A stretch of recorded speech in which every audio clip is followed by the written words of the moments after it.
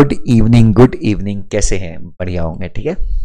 सो so, एक company uh, की board meeting चल रही थी। आप लोगों को ये वीडियो बहुत अच्छे से देखना चाहिए। So there was a board meeting of the company going on उस कंपनी में एक इंसान बैठे हुए थे जिनका नाम था प्रकाश कानूगो ठीक है? प्रकाश कानूगो कौन थे? कि ये चेयरमैन थे। He was the chairman of Prakash ने 120 करोड़ का आईपीओ लाया था और प्रकाश कानू कानूगो जी का भी नेटवर्थ अराउंड हंड्रेड के आसपास का है ठीक है उस मीटिंग में एक अशोक अजमेरा नाम के एक इंसान बैठे हुए थे। He is a chart accountant और इन, खुद की एक लिस्टेड कंपनी है। अजमेरा कैपिटल्स करके you can search on Google तो इनकी खुद की एक लिस्टेड कंपनी अशोक अजमेरा है। बहुत बड़े दो हज़ार आठ में आईपीओ के एक्सपर्ट्स होते थे। फिर उस मीटिंग बोर्ड मीटिंग रूम में अशोक मफतलाल सेठ बैठे हुए थे। जो लगभग दस बारह स्टील कंपनीज़ के डायरेक्टर थे और मतलब मुंबई के मार्केट में जिनको एक प्रकार से स्टील किंग कहा जाता था, ठीक है?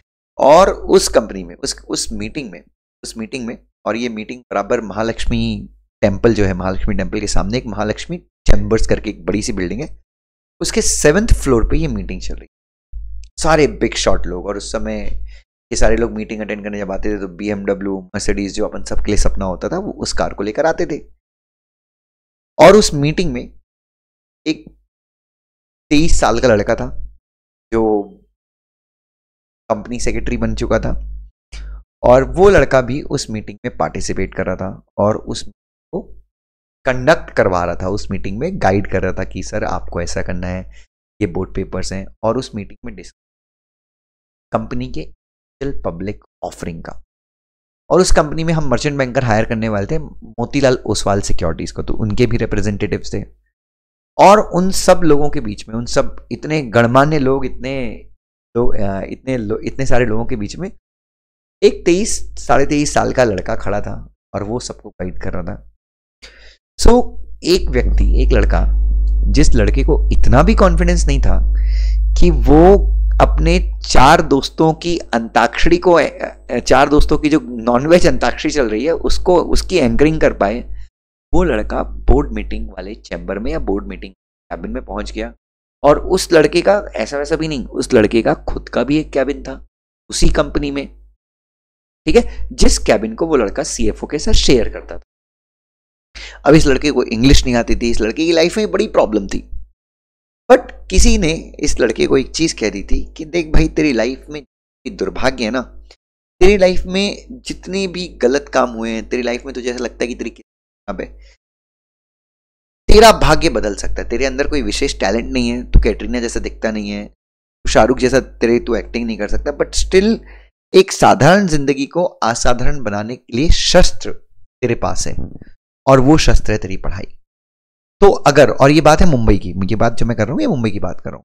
तो बच्चों, ये लड़का तेईस साल का मैं ही हूँ, और आज तो मैं खैर काफ़ी बुढ़ा हो गया हूँ तो ये तेईस साल का लड़का मैं ही हूँ, और मैं ही आपको बता रहा हूँ कि जो कोर्स आप सब कर रहे हैं, जो कोर्स मैंने किया है, उस कोर्स के अंदर इतनी काबिलियत है, उस कारण, उस कोर्स के अंदर इतनी क्षमता है, कि आपको एक अपने हॉस्टल के रूम से निकालकर आपको गरीबों की, गरीबी की जंजीरों से निकालकर वो कोर्स आपको ऐसे लोगों के सामने लाकर खड़ा कर देता है, जिन लोगों ने कुछ बहुत बड़े मुकाम हासिल उन लोगों को देखकर आपके अंदर एक नई ऊर्जा आती है कि हम भी उनके जैसे बिजनेसमैन बने, हम हम भी उनके जैसे कुछ बड़ा करें और हम भी लाइफ में कुछ तो शुरुआत कहाँ से?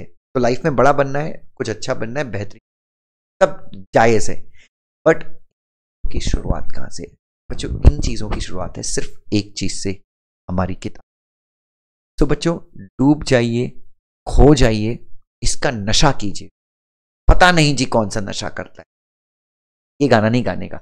आपको पता होना चाहिए कि आपके अंदर एक ही नशा है, वो नशा है पढ़ाई का, क्योंकि ज़िंदगी में जितने भी दर्द हैं ज़िंदगी में जितनी भी समस्याएँ हैं, जितनी भी ज़िंदगी में कष्ट हैं, कष्ट में भी हम मस्त हैं बट हमको पता है कि हमको लाइफ में कुछ बड़ा बनना और बड़ा बनने के लिए करना पड़ेगा पढ़ाई।